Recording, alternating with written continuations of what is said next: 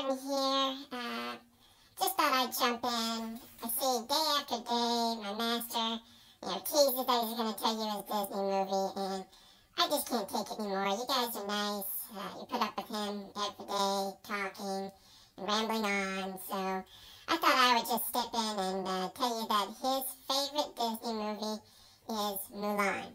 We watch it all the time. We sit, we snuggle. It's absolutely great, you know. And tell you, but he loves to sing all the songs. You know, like his favorite is, you know, Be a Man. You know, probably some of his coworkers could could listen to that song. Hashtag James Walsh. But the other ones, uh, Girl Worth Fighting For, and Let's Get Down to Business to Defeat the Huns. Anyway, he, he just loves that movie. I thought I'd jump in and, and put everyone out of their misery. It's Mulan, and he can't wait for the live-action movie coming.